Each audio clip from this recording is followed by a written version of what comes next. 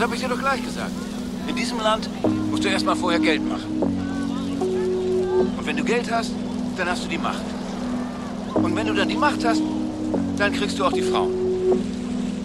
Deswegen musst du dein eigenes Ding machen.